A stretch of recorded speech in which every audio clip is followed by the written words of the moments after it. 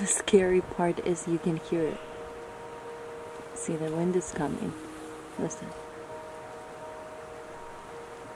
You can hear it from miles away, and it's because the wind, as it carries through the woods, makes all the cracking noises with the trees and the leaves. It's about to get here.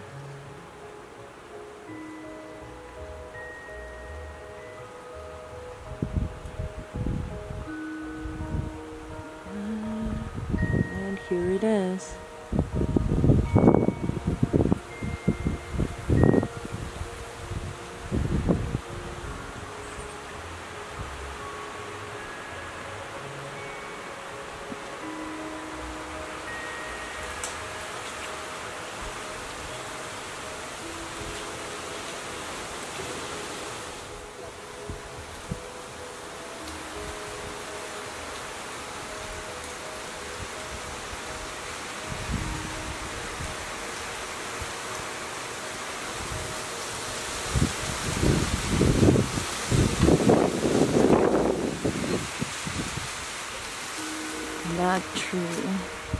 Goats decided that it was the perfect weather to go out. I mean, they have their hay inside the house. They can eat as much as they want. But they'd rather be outside under the trees. Just to make me a little bit more nervous.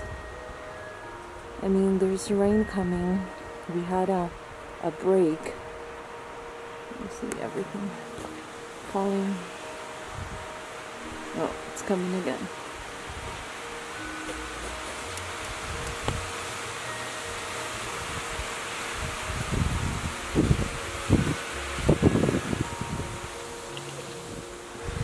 Mocha, go in.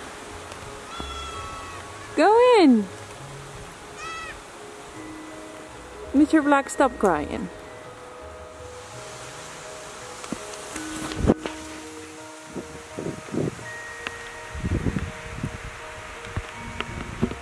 I was outside looking at the goats, making sure nothing um, fell and messed with the fence. That's what I am afraid of.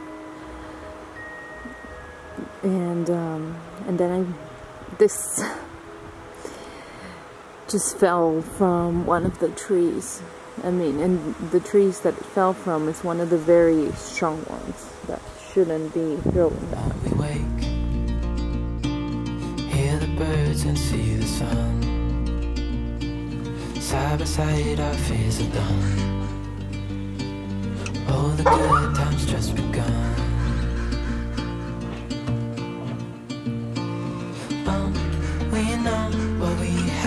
Hold on tight. Found what we're looking for in life. Call us crazy, but things are finally right. With you and I, the future is bright.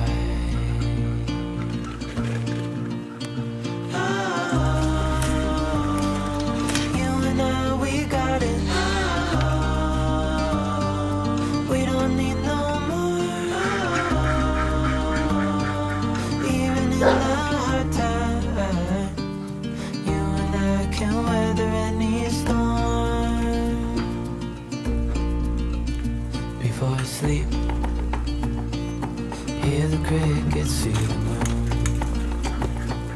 Side by side on the. No limit to what we can do.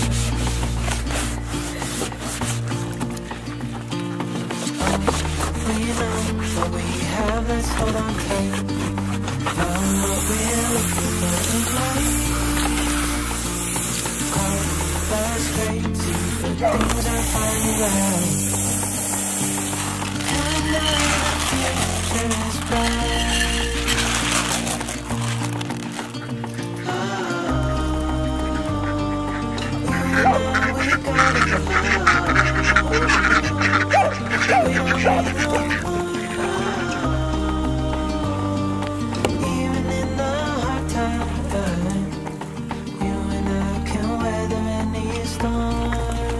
It really has been raining all day and all night.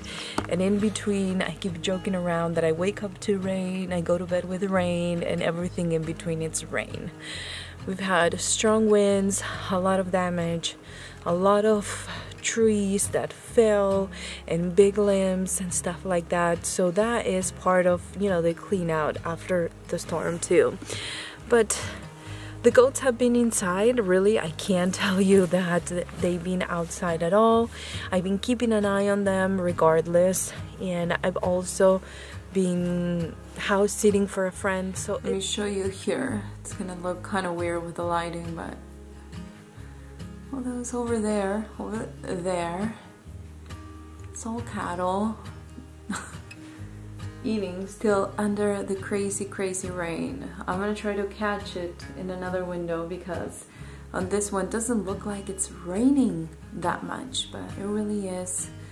And my buddy over there would being um, a little busy, sleeping, and um, yeah, such a nice view from here so I decided you know instead of not sharing anything because of the weather that's my ginger friend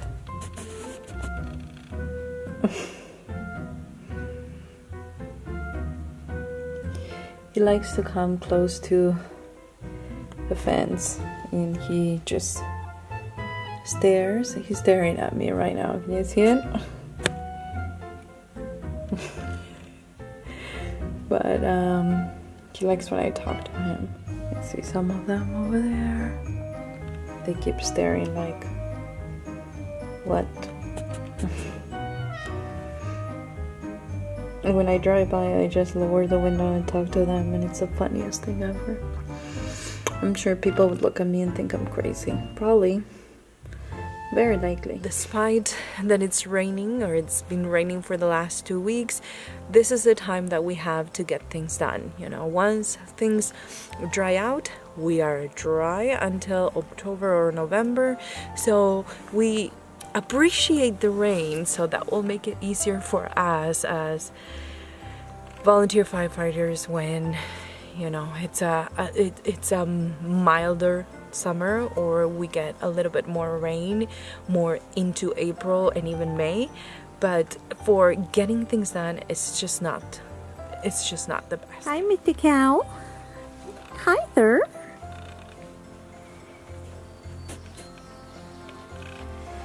Hi baby. Yes, where's your mom? Where is she, love? You're just eating hay by yourself? You're such a big boy. Now, I've been keeping an eye on the babies. I really wanted to see the difference between the boys that I have now and the boy that I had last year with Taz. Taz was incredibly interested in breeding since he, I mean, really, he was extending maybe when he was six weeks old, maybe even before then.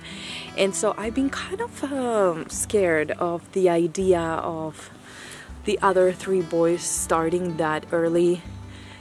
But I have to say that they're not interested at all, and that's okay.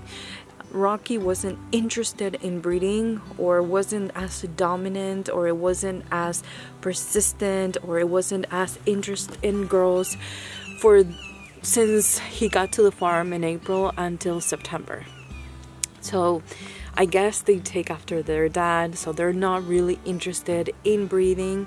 Uh, as you know, I'm gonna wether two of them, and I've been having conversations with uh, the the boy's new owner, and uh, some things might change. I just want to say that, but uh, everything looks good. I got deposits for them. They're going to a new farm in the summer, but right now I have to keep the other goat safe. And I'm telling you, I've spent the good part of the day working on project yesterday and I've been keeping a good eye on them recently and they are not interested what really puts me at ease and again they are not eight weeks old when people start separating but I've been doing a lot of tethering them outside and leaving them to eat more grass and eat more greens. That helps with the feed and at the same time it helps with the separation. So we don't have to do it cold turkey when we're ready to. However, since it's been raining, it's almost impossible really to have them outside without having a shelter. So uh, right now they're eating inside the goat's house and even the boys are inside their house. And I'm probably gonna go and start with the garden right now because it's non-stop rain. So this is the garden bed I started the other day. Broccoli. I have some lettuce here. More lettuce is there. And some uh, peas. I'm not sure if this is lettuce. I think this is lettuce. This was a nice surprise. A couple of years ago, I think it was the like the very first spring we moved here in 2020. I planted some elephant garlic. And I know there's another one over there, but the ducks um, I put a barrier around and the ducks wouldn't leave it alone. Then all of a sudden, now in 2022, they started to show signs of life, and really, this is how they look like. So I put this frame around it to protect it, and for now, it's been working. I know there's another one over there that the duck's been eating but I'm pretty excited about having some elephant garlic, at least these two that I'll probably use as seeds for the fall. I don't know if you remember the big pile of manure that I put in this garden bed and um, a lot of leaves and other organic matter preparing it to plant. Now, I don't know if you'll be able to see, but now is to the point of the lip. So it's already composted 90% of it. I mean, it came down with all the bacterial activity that it's in this bed. So I'm pretty excited to start using it. I also put grass clippings on top. I don't know if you can see them, but that helped a lot with some of the grass that wanted to grow. Honestly, as soon as it started to cool off, grass wanted to grow there. And now I only have just a few around, as you can see, and not all throughout the bed. These are my carrots, and they're looking better and better as we are getting into more light. We have been pretty dark because it's been raining and storming for quite a while, but if you can see there, right there, they are starting to turn orange. And then as soon as I harvest this carrots that I desperately want to eat, then I'm gonna clean this bed and start working on this part of it. On this other side, with the, all the amending and everything, the bottom, I mean, there's so much um, activity as far as earthworms and all the kind of life that you want to see in the soil before you plant.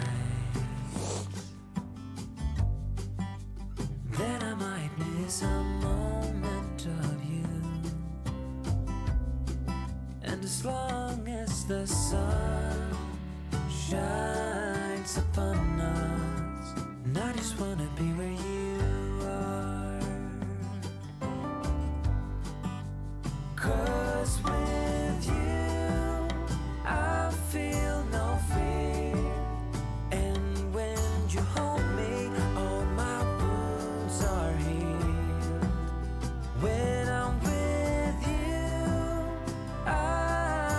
just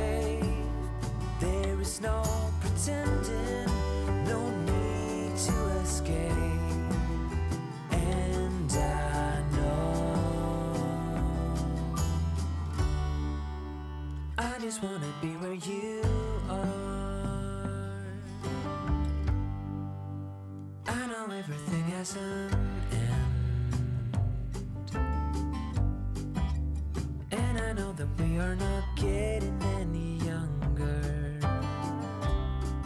But as long as there is time, I will walk beside you.